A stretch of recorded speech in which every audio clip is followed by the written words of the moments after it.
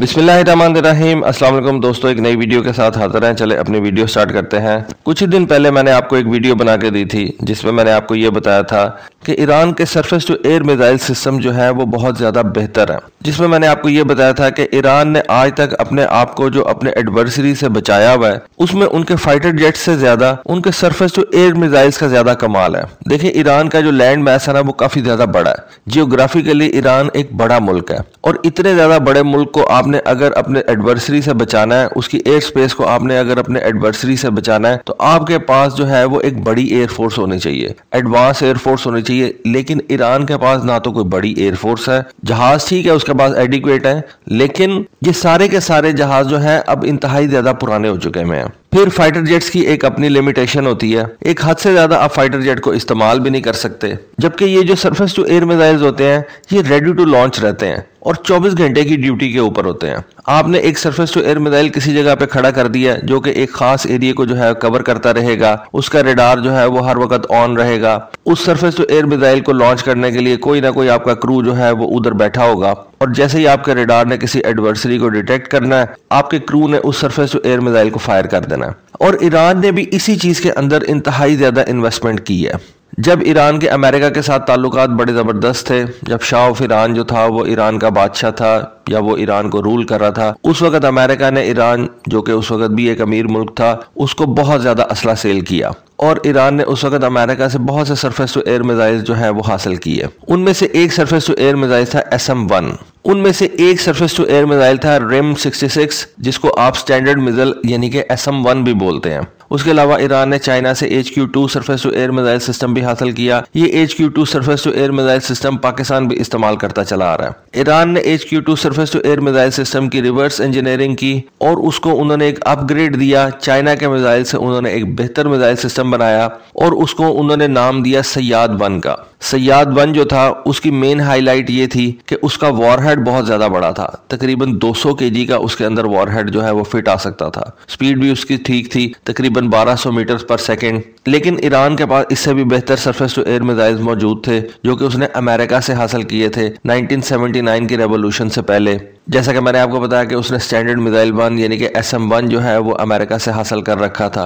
Iran ने उस S M one missile की रिवर्स इंजीनियरिंग की और उसके अंदर से उन्होंने एक सयाद टू के नाम का सरफेस टू एयर मिसाइल जो है, वो तैयार किया, जो कि सयाद वन से बहुत ज़्यादा बेहतर था। सयाद टू जो था, उसकी शुरू के अंदर रेंज जो थी, वो चालीस से पैंतालीस किलोमीटर के दरमियान थी। फिर उसको उन्होंने मजीद अपग्रेड किया और सयाद टू सी उसका नाम रखा, जिसकी रेंज जो थी, वो पचहत्तर किलोमीटर तक हो गई। Sayyad two surface to air missile system को ईरान ने अपने फ्रिगेट्स के ऊपर भी लगाया, जिससे उसकी नेवी की जो surface to air missile capabilities थी, उनके अंदर काफ़ी ज़्यादा इजाफा हो गया। जैसा कि मैंने आपको बताया कि सयाद टू की जो रेंज थी, वो तकरीबन पचहत्तर किलोमीटर थी। लेकिन ये फिर भी जो रेंज थी, ये बहुत ज़्यादा नहीं थी। इसको आप एक मीडियम रेंज का surface to air missile system कह सकते हैं। ईरान ने इस मिसाइल सिस्टम के ऊपर वर्किंग जो है, वो जारी रखी। इसको मजीद अपग्रेड किया।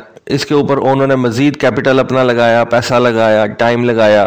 अपने इंजीनियर्स को उन्होंने सयाद टू के अपग्रेडेशन के अंदर लगा दिया। और ईरान के जो इंजीनियर्स थे, वो सयाद टू की रेंज को बढ़ाने में कामयाब रहे और उन्होंने इसकी रेंज 120 से 150 किलोमीटर तक कर दी। इसकी बॉडी को उन्होंने थोड़ा सा लंबा किया, इसकी डायमेंशंस को चेंज किया, जिसकी वजह से सयाद थ्री जो है, वो हमारे सामने आया। फिर इतनी देर के अंदर ईरान ने मुख्तलिफ़ किस्म के सिस्टम जो है उनको तैयार किया, जिनके अंदर रेडार शामिल थे। उन सिस्टम्स के अंदर ईरान ने ये अपने सरफेस टू एयर मिज़ाइल जो है वो ऐड किए, जिनमें एक तलाश सिस्टम था, जिनमें एक खुरदाद सिस्टम था।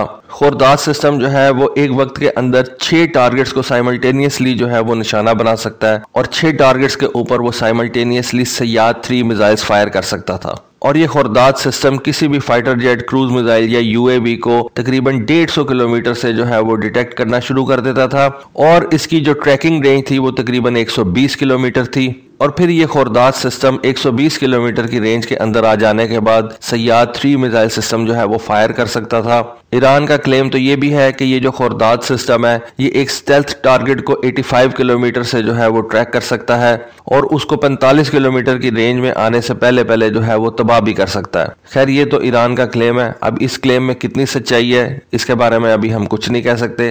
लेकिन ईरान ये क्लेम करता है कि वो एक स्टेल्थ टारगेट को पचासी किलोमीटर दूर से जो है वो डिटेक्ट कर सकते हैं और जब तक वो टारगेट 45 किलोमीटर रेंज के अंदर आता है, उससे पहले पहले वो उसको तबाह भी कर सकते हैं। उसने अपने Sayyad surface to air missile के ऊपर मजीद वर्किंग की और उसके अंदर से उसने एक सयाद फोर मिसाइल सिस्टम जो है वो डेवलप किया। जिसकी रेंज के बारे में कहा जाता है कि वो 210 किलोमीटर है। जो कि सयाद थ्री से ज़्यादा बेहतर और उसकी जो मनोवरेबिलिटी है, वो भी सयाद थ्री मिसाइल सिस्टम से ज़्यादा बेहतर है। और डेफिनेटली अगर आप इस सयाद फोर मिसाइल को देखें तो ये पुराने मिज़ाइलों यानी कि सयाद टू और सयाद थ्री से जो है, वो बहुत ज़्यादा मुख्तलिफ़ आपको नज़र आएगा। इसकी जो बॉडी है, उसके अंदर आपको काफ़ी ज़्यादा डायमेंशनल चेंजेस नज़र आएँगी। इसके जो कंट्रोल फिन्स हैं, उनको रिमूव कर दिया गया है और इसकी बॉडी के ऊपर छोटे कंट्रोल फिन्स जो है, वो ऐड कर दिए गए हैं।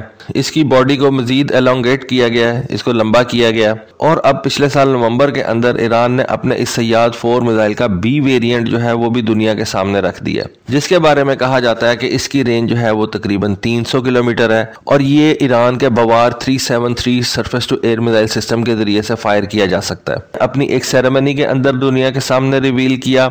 इस सेरेमनी के अंदर ईरान के एयर डिफेंस फोर्सेज के चीफ जो थे वो भी शामिल थे। वो चीफ गेस्ट थे वहाँ पे। और उनका कहना यह था कि ये मिसाइल सिस्टम जो है किसी भी टारगेट को 300 किलोमीटर दूर से जो है वो निशाना बना सकता है। इससे पहले जो ईरान के पास सयाद फोर मिसाइल था, उसकी रेंज 200 किलोमीटर थी। और इस Sayyad four B surface to air missile system का जो मैक्सिमम एल्टीट्यूड है, वो तकरीबन 27 से 32 किलोमीटर तक है। इस सेरेमनी के अंदर ये भी रिवील किया गया कि ईरान ने अपने बवार 373 रेडार सिस्टम को मजीद अपग्रेड किया है। बवार 373 मिसाइल सिस्टम के अंदर एक ऐसा रेडार इस्तेमाल किया गया है, जिसकी रेंज अब साढ़े तीन सौ किलोमीटर से बढ़ा के साढ़े चार सौ किलोमीटर कर दी गई है।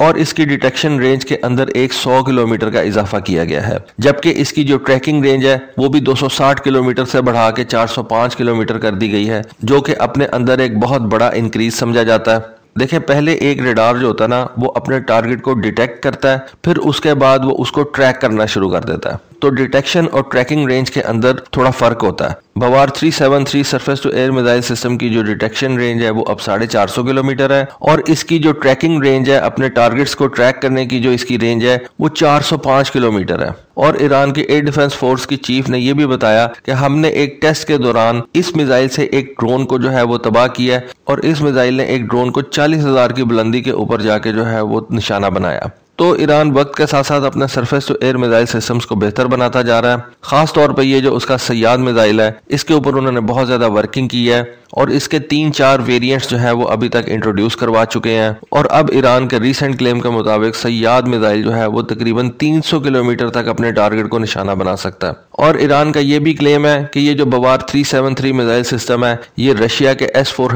मिसाइल सिस्टम से ज़्यादा बेहतर है। खैर, ये तो उनका एक क्लेम है, लेकिन मेरा ख्याल है कि S four hundred missile system के अंदर ज़्यादा किस्म के मिसाइल जो है, वो फिट आ सकते हैं। और रशिया इस गेम के अंदर ईरान से काफ़ी ज़्यादा पहले से जो है, वो काम कर रहा है। Surface to air missile system के अंदर रशिया ने भी बहुत देर से जो है, वो इन्वेस्टमेंट कर रखी है। और रशियन क्लेम के मुताबिक उसने ऐसे मिसाइल तैयार कर रखे हैं, जो एक टारगेट को 400 किलोमीटर दूर तक जो है, वो निशाना बना सकते हैं। खैर ये जो 400 किलोमीटर वाले मिसाइल हैं ये किसी फाइटर जेट को निशाना नहीं बना सकते क्योंकि ये इतने ज़्यादा मनोवरेबल नहीं होते और 400 किलोमीटर दूर तक जाते जाते इन मिसाइलों के अंदर जो एनर्जी है वो खत्म हो जाती है। ये जो इतनी दूर के रेंज वाले मिसाइल होते हैं ये बड़े बड़े जहाज़ों को निशाना बना सकते हैं जैसे कि ट्रांसपोर्ट जहाज़ हो गए जैसे कि आपके ए बैक्स हो गए या कोई स्पेशल मिशन जहाज़ हो गए। इतनी दूर से फाइटर जेट को निशाना बनाना जो है वो एक बहुत मुश्किल काम है। एनी anyway, ईरान का क्लेम यह है कि ये जो उनका बवार 373 मिसाइल सिस्टम है, ये एस फोर हंड्रेड से ज़्यादा बेहतर है। खैर, ये उनका क्लेम है। अब इस क्लेम को टेस्ट करना इतना आसान नहीं है। तो दोस्तों, ये थी आज की वीडियो ये थी आज की इन्फॉर्मेशन होपफुली आपको आज की वीडियो आज की इन्फॉर्मेशन पसंद आई होगी। कमेंट सेक्शन में अपनी राय से ज़रूर आगा कीजिएगा। आज के लिए बस इतना ही। थैंक यू अल्लाह हाफिज़।